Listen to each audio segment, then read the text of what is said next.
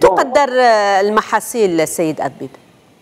ما يمكنناش نقدروا يعني المحاصيل إلا جمعتي بين. إقليم الشاون والإقليم إذا جمعتي بين إقليم الشاون وإقليم تهاونات وإقليم الحسيمه راه راه الآلاف ديال الهكتارات اللي كتزرع وكتزيد كل سنة كتزيد يعني الهكتارات الإنسان خصو يدور بواحد الجوله ويعرف أش كاين. وخصوصا وخصوصا ملي كانت الزريعات البلدية كان داك الشيء قليل. ولكن الان اللي دخلت ذاك النبتة الهجينه من أوروبا اللي كيبيعوها للفلاحة اللي كتعطي إنتاج أكثر والطو دو بياج المستوى ديال السيدة مرتفع جدا لأن السوق الأوروبية كتطلبها فمع البطاله اللي كاينة الشباب يعني لا شباب ديال المنطقة ولا الشباب ديال المنطقة اللي عايشين في أوروبا فيكفي أن الإنسان يقوم بواحد الجولة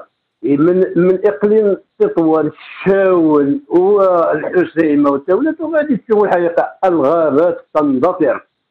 والمشكل الآخر اللي هو خطير هو أن الماء ما بقاش الماء كاين الجفاف وكاين الهجرة الآن الآن كاين الهجرة من البادية إلى المدن نظرا لأن المياه ما بقاتش يوقع الجفاف واللي زاد كمل على الكارثة الكبرى هو انه يعني هاد الآبار اللي كتحفر كل بلاصه وهاد النبتة هذه الهجينه تتطلب كميات هائلة من المياه الفرشة المائية إذا أنت الأستاذ أضبيب تعتبر أن نعم. هذه النبتة الهجينة هي خطيرة على المنطقة وتهدد النبتة الأصيلة للقنب الهندي طيب هذه النبتة الأصيلة للقنب الهندي كيف يمكن حمايتها؟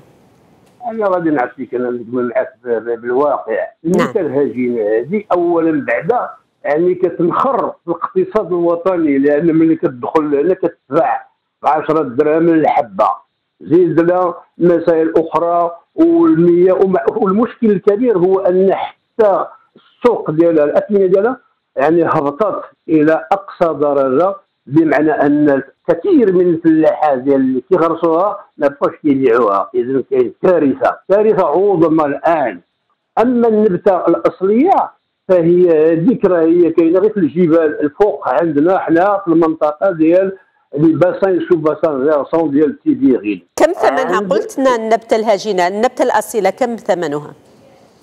النبته الاسئله شوف آه، باش غادي نهضروا بلا اولا قبل ما نهضروا على الثمن خصنا نهضروا علاش هاد النبته هاد النبتة راه مهدده بالاندثار وهذه النبتة اصليه مغربية بنت البلد اللي عاشت قرون وهذه النبتة الان الآن خصنا نتعرفوا عليها لأن دابا كنتكلموا على النبته شنو غادي نغرسوا باش نستخرجوا منها المواد الطبيه أو السي بي دي أو غير ذلك باش نقدروا نتنافسوا مع السوق الأوروبية أو السوق العالمية باش يمكن لنا الفلاحه ديالنا يستافدوا. الحقيقة غير ذلك.